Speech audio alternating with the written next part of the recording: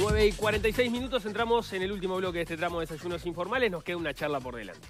Una charla que es muy especial, que a mí personalmente me da mucho gusto y placer presentar, porque estamos hablando de un fotógrafo documental como Armando Sartorotti, con quien en esta mesa varios hemos compartido años de trabajo. Bueno, en este momento le está presentando, está haciendo de todo, pero entre otras cosas está presentando eh, la muestra Memento en el, en el, Teatro El Galpón. Allí, bueno, vemos eh, retratos de Alfredo Citarrosa, Mario Benedetti, distintos momentos de la historia uruguaya, presidentes, la visita del Papa, en fin, es una muestra enorme, pero además ha sacado un libro y además está preparando una muestra grande para fin de año que ahora se los vamos a contar, así que es un gustazo para nosotros recibir a Armando Sartori en esta mesa. Muchísimas gracias por venir, por estar con nosotros. Bienvenido. Bueno, empezamos por Memento, eh, que está esta muestra que está allí en el Teatro El Galpón. ¿Cómo se te ocurrió esta idea de mostrar todas estas fotos que son parte de toda tu carrera? Mira, eh, hace, yo en, 2020, en 2023 cumplí 40 años de trabajo documental. El primer trabajo documental que me pagaron fue el acto del primero de mayo de 1983. Wow. ¿Ah? Para mí el, acto de masas más importante que yo vi eh, hasta ahora. Yo sé que la importancia de lo que pasó en noviembre del 83 este, eh, tuvo tiene un peso que nos marca hasta hoy pero honestamente el acto de masas más grande que vi en mi vida fue el acto del 1 de mayo de 1983. El primer acto de masa después de 10 años de dictadura, todavía con tres años para que se fuera, el, estreno, del PIT. Cuando apareció un Richard Reed re joven, con una melena que nadie sabía quién era. Exactamente. Muy buena foto. Exactamente. Y, y entonces, la, lo que siempre estuve pensando en hacer una retrospectiva, y se me ocurrió partir la retrospectiva en dos. Decir, bueno, ¿cuál fue el tiempo en que yo utilicé película fotográfica? Yo utilicé película fotográfica entre 1983 eh, y 2001-2002.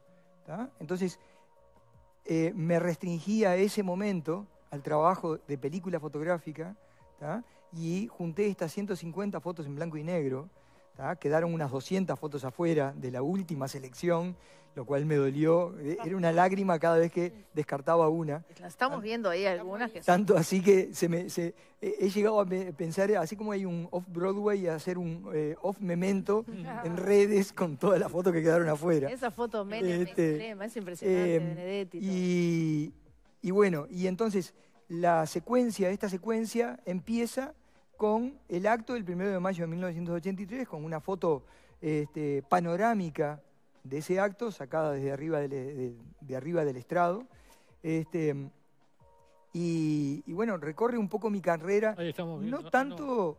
Ese es de ACEP, ¿no? Exactamente. Ah. Y ahí tenemos a Julio Boca. Julio Boca, esa es la foto que del afiche principal que invita en el Teatro del Galpón a ver la muestra. Exacto. Este, y, y bueno, eh, eh, las fotos en realidad no son los grandes hitos de la salida de la dictadura y del principio de la democracia, este, de, los primeros, de las primeras décadas de la democracia, sino que son fotos que afectivamente para mí tienen un símbolo, tienen un significado y son las que quise agregar. Digo, no, no, no agregué fotos de la liberación de las mujeres o de los hombres este, eh, de los presos políticos o de la llegada de Wilson o de eh, la llegada de los niños del exilio, fotos que tenía, pero que otros ya la mostraron y seguramente las mostraron mejor de lo que las puedo mostrar yo hoy. Así que me restringí a eso, me restringí a los afectos, a cómo eh, es estas fotos que están, que van a encontrar en, Memento, en, ahí en el galpón, son las fotos que, en cierta forma o por motivos absolutamente, estrictamente personales, o por eh, el marco social en que yo la saqué, eh, me marcaron. Mm. ¿Cuántas fotos son? 150 fotos. 150 fotos. Mm. Vos te das cuenta, ¿cierto? Cuando sos un fotógrafo documental, acabas de contar tu primera foto, esa foto de, masas. ¿Vos te das cuenta en el momento cuando sacás una foto y decís, esta foto va a ser histórica, o esta foto va a perdurar en el tiempo, va a ser importante, o eso pasa Mira, después? Eh, no, no, para nada. Para nada. O sea, en realidad yo cuando, ahora cuando repasé, claro, cuando tenés toda la, es el partido del lunes, ¿no? Mm. Es eh, hablar de, por qué sacaron al mediocampista este y pusieron a un delantero cuando, y después te hicieron tres goles. Este, con el diario del lunes, cuando veía la, secuencia, me daba cuenta de la importancia que había tenido en cada uno de esos momentos. Eh, yo creo que hubo muy pocos momentos en que yo me di cuenta de lo que estaba pasando. Por ejemplo, eh, cuando gana el no en Chile, en el año 88, este, eh, al día siguiente la gente salió a la Alameda eh, a caminar por la Alameda y a regalarle flores a los mismos carabineros que el día anterior los habían reprimido. Y que ese día no sabían lo que hacer. Eh, y, en, mi cabeza sonaba la canción de Silvio Rodríguez. Este, sobre las calles de Santiago. sobre las calles. Yo pisaré las calles nuevamente. Este, ¿No es Pablo Milanés? De Pablo Milanés, tienes razón, totalmente.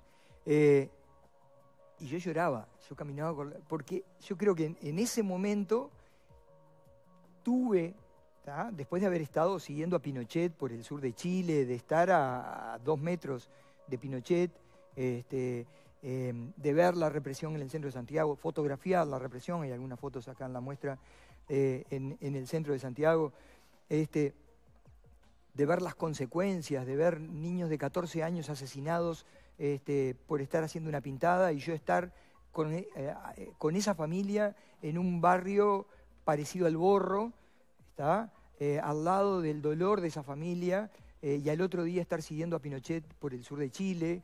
O sea, eh, yo creo que ese evento en particular, ese, trabajo en particular, yo tuve la percepción que culminó en esa, en esa caminata por la Alameda, de yo pisaré las calles nuevamente, este, de lo que fue Santiago liberada, tuve la percepción de lo que estaba viviendo. Pero en realidad en el resto de los eventos yo hice el trabajo que tenía que hacer.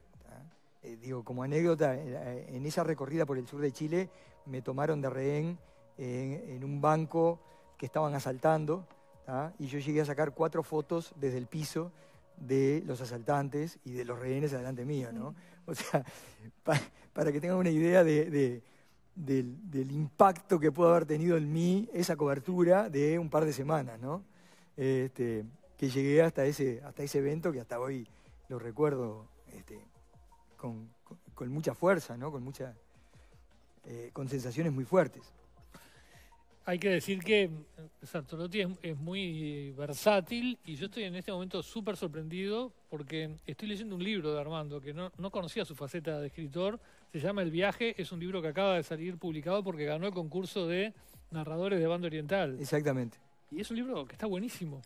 Este, desconocía, desconocía que alguien que sacaba fotos tan, tan buenas fotos, porque eso sí, todos lo conocemos, este, y estábamos viendo, escribía, escribía también, pero también, estoy, no puedo decir que terminé el libro porque empecé hace dos días, ya pasé más de la mitad, me falta re poco. Este, ¿Cuándo cultivaste esa faceta de escritor también? ¿Es histórica también? ¿sí? Hace muchos años, pero se incentivó más a los últimos 10, 12 años. Este, me gusta mucho el formato de cuentos, me gusta la exigencia del formato de cuentos. Este, hace, hace unos días con, una editora amiga decía que en realidad el viaje era un cuento que se me había ido de las manos. Este, es una novela eh, corta. Es una novela corta, exacto, es una, es una novela. Em, y, eh, como te decía, a mí honestamente me gusta mucho esa, esa cosa de esa, la dinámica del cuento, ¿no? Lo estricto, cómo tenés que medir cada palabra y cómo cada palabra desemboca en la palabra siguiente, este, que te hace reescribir un cuento. Yo tengo cuentos que los he reescrito durante años. Y releerlos 30, 40 veces en voz alta. En eso es muy distinto a la fotografía, que una vez que salió... Muy diferente a la fotografía, exacto.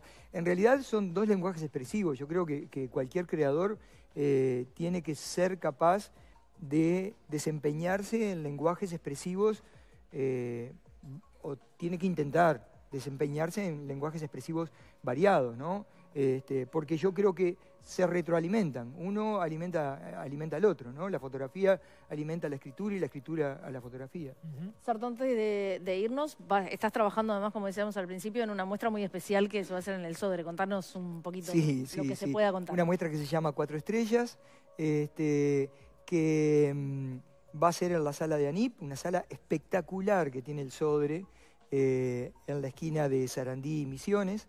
Este, y es, una, es un homenaje en el marco de los 100 años de 1924, del Campeonato Olímpico de 1924, un homenaje a eh, los dos campeonatos olímpicos y los dos campeonatos mundiales que se convirtieron en campeonatos mundiales, en definitiva. Son las cuatro estrellas de la camiseta y eso le da nombre a la muestra. Bueno, 22 eh, de mayo es la fecha de inauguración. De inauguración, exacto. Ahí está, tres, tres invitaciones entonces. A ir al Teatro del Galpón a ver Memento, que ya vieron algunas fotos ahí. Ya ¿Está, siempre abierto la exposición? Eh, es es una, una, una cosa insólita porque está abierto todos los días de 9 a 9 de la noche. Y los días de función está abierto hasta que dure la función, 10, 10 y Entrás al galpón, subís al entrepiso y está ahí toda la muestra impresionante. Exacto. Bueno, eh, Teatro del Galpón, el libro El viaje en todas las librerías, me imagino. 22 de mayo en el Soder esta muestra cuatro estrellas. Así que Armando Sartorotti, un placer haberte recibido. Un placer. gracias. Gracias, por, todos los logros. Muy bien, nos vamos, quedan con los compañeros del segundo tramo de Desayunos Informales. Nosotros nos reencontramos mañana. Que pasen muy bien. Chao, chao. Chao.